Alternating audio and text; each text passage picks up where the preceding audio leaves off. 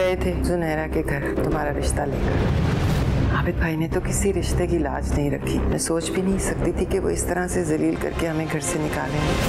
आप लोगों को वहाँ जाना ही नहीं चाहिए था। बहुत गलत किया आपने। आबिद ये सब आपकी जिद और गुस्से का नतीजा है। अगर मेरी बेटी को कुछ हुआ ना तो मैं आपको भी कभी माफ़ नहीं करूँगी। अम्मी ये वक्त ऐसी बातों का नहीं है। पहले डॉक्टर्स ने अटेंड करने से मना कर दिया है। अभी तक जुनैरा की ट्रीटमेंट ही स्टार्ट नहीं हुई। मुझे तुमसे ज़रूरी बात करनी लेकिन मुझे आपसे कोई बात नहीं करनी। बात मेहर के बारे में। मेहर नाम की किसी लड़की को मैं नहीं जानता मलिक साहब। अब वो तुम्हारे बच्चे की माँ है। Bright presents Amanat. देखिए हर मंगल रात आठ बजे सिर्फ़ ए आर वाई डिजिटल पर।